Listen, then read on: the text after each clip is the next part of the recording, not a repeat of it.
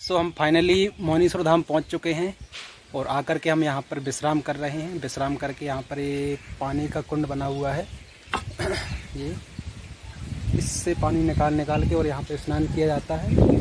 और जैसे कि हमारे भाई साहब अभी स्नान कर रहे हैं।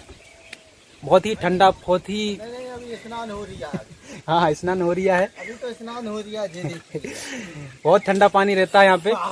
गर्मी के सीज़न में बहुत ही ठंडा पानी निकलता है, यहाँ से चट्टानों के नीचे का पानी रहता है, या कभी पानी नहीं सूखता, यहाँ पे भगवान भोलेनाथ की कृपा रहती है, यहाँ पे मुनीश्वर धाम की कृपा रहती है।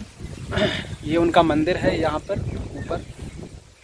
और एक और मंदिर उधर है, वो बाबा जी है हमारे यहाँ के, मुनीश्वर धाम के। और, बहुत अच्छा लगता है यहाँ पर पहाड़ी पे, सतपड़ा की पहाड़ी है। और आपको हम दर्शन कराएँगे आगे मतलब कि चट्टानों के यहाँ पे पवन की।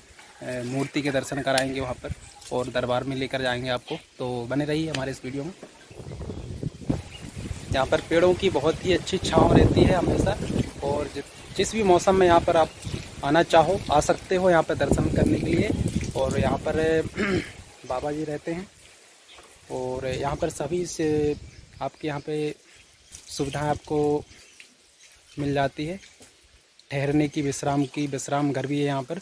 जैसे तुम्हें बरसात में अगर आप आते हो तो पहाड़ी से थोड़ी ही दूर वहाँ पर पहाड़ी की चोटी दिख रही है। वहाँ पर भी हम जाएँगे, आपको दिखाएँगे।